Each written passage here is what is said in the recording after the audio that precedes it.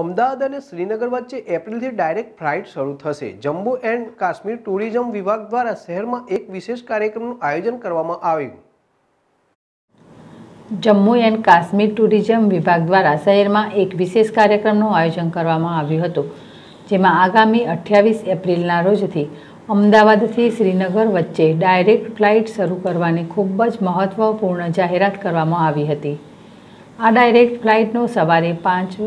પંચાવન અને સાંજે આઠ વીસ કલાક રહેશે. કોરોના મહામારીના કારણે પ્રવાસન ઉદ્યોગને સૌથી મોટો ફટકો પડ્યો છે. ત્યારે જમ્મુ એન્ડ કાશ્મીર ટુરિઝમના વરિષ્ઠ અધિકારીઓએ જણાવ્યું હતું કે સંકટના આ સમયમાં ગુજરાતના લોકોનો સૌથી વધુ સહયોગ પ્રાપ્ત થયો છે. નવેમ્બરથી ફેબ્રુઆરી દરમિયાન એક લાખ અઠ્ઠાવન હજાર લોકોએ કાશ્મીરની મુલાકાત લીધી હતી, જેમાંથી આશરે સાઠ હજાર જેટલા ગુજરાતીઓ છે. એક અંદાજ મુજબ જમ્મુ અને કાશ્મીર ફરવા જવામાં દેશમાં ગુજરાત અને મહારાષ્ટ્રના લોકો મોખરે છે. મહત્વપૂર્ણ છે કે અમદાવાદથી સીધી ફ્લાઇટથી પ્રવાસીઓની સગવડતામાં વધારો થશે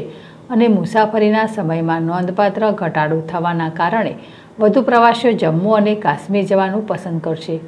કોરોના મહામારી હરવી થતાં હવે ધીમે ધીમે લોકો પ્રવાસ ઉપર જવાનું પસંદ કરી રહ્યા છે અને પ્રવાસન ક્ષેત્ર ઝડપથી સુધારા તરફ આગળ વધી રહ્યું છે વિશાલ રાજપૂત જેડેશ ટીવી અમદાવાદ यहाँ पे एक तो पेंडेमिक को जिस तरीके से डील किया गया और दूसरा जो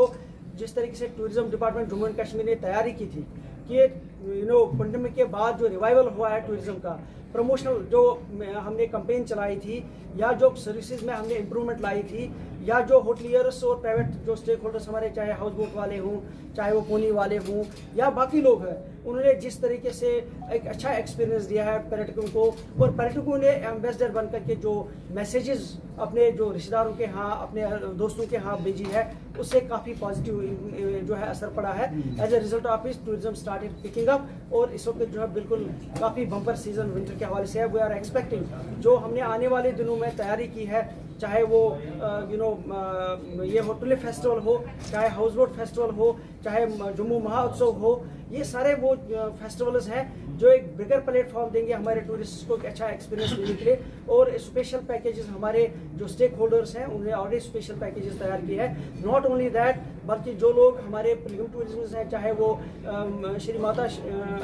ये जो वैष्णो देवी आना चाहेंगे या अमरनाथ जी आना चाहेंगे, उनके लिए भी हमने जहाँ वो पवित्र जगहों पे जाते हैं, उसके बाद जो लेजर टाइम उनके पास होता है, वो बाकी जगहों पे भी जाए, उसके हवाले से भी हमने एक पैकेज की तैयारी करी। से पैकेज की आपने तैयार की है। रेशो प्राइस रेट, प्राइस जो है वो पहले से कम है, ज़्यादा है, उतना है, और धार्मिक